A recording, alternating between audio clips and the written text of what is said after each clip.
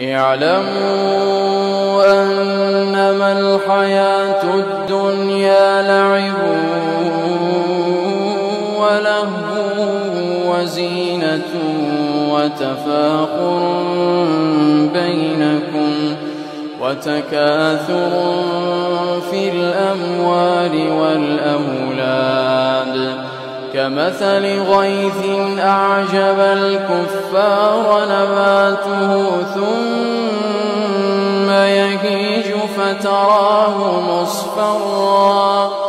ثم يهيج فتراه مصفرا. ثم يكون حطاما. وفي الآخرة شديد ومغفرة من الله ورضوان.